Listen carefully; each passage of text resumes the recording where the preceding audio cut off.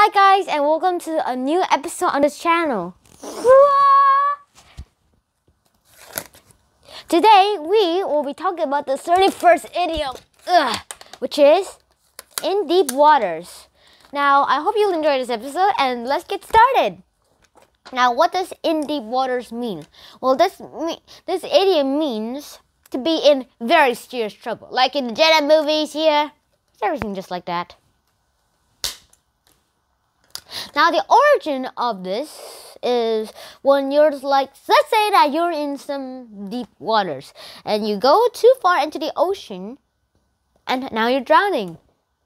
And you're in danger because you're drowning, of course.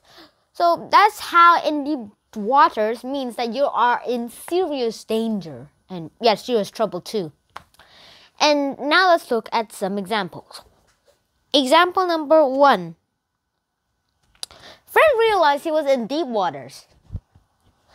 Example number two. He was in deep waters indeed. Example number three. Brian realized he was getting into deep waters fast. One of my rockstar movies. And now let's look at the comic. Boom, bucketa boom, bucketa boom, bucketa boom, boom.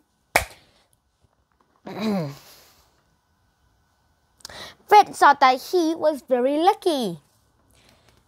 Mr. Puzzle had seemed to be very, very cheerful about lending Fred the money he needed.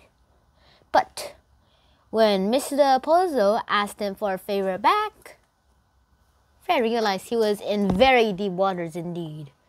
They said, kill him!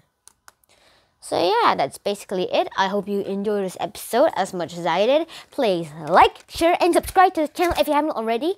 And I'll see you in the next episode. Junhan out. Peace! Uh, yeah!